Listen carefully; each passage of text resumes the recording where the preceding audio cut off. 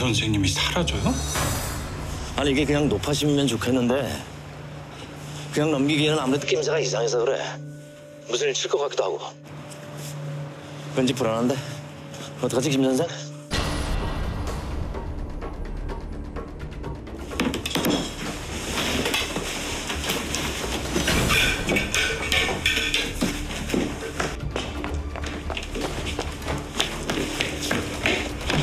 오늘 남은 치료도 취소해줘요. 네? 미안해 급한 일이어서 일단 환자들한테 양해를 좀 나중에 따로 전화를 드린다고 얘기를 좀 해주고 그래요, 김 선생. 방금 마 선생님한테 전화 왔는데 지 선생님이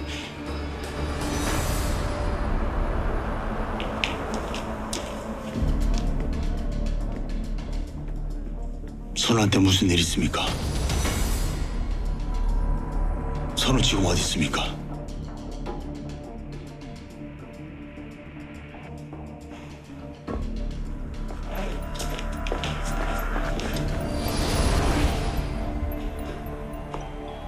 어디야?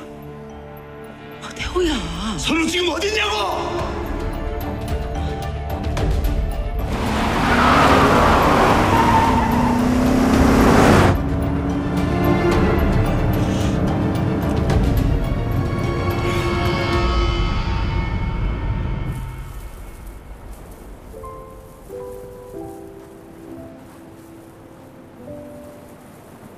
차가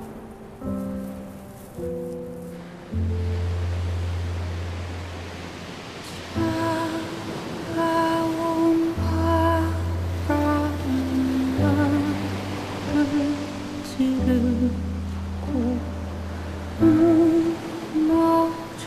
가슴이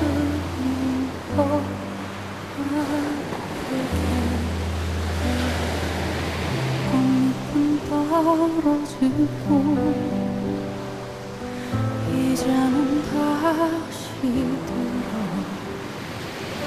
발끝이 닿지는 깊은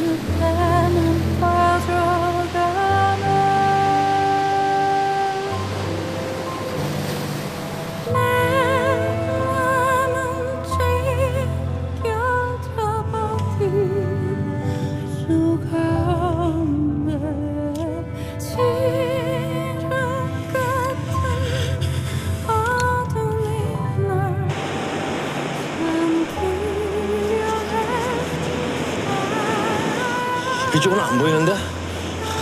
안 보이는 게 좋은 건지 어쩐 건지 아 도통 안심이 돼야 말이지.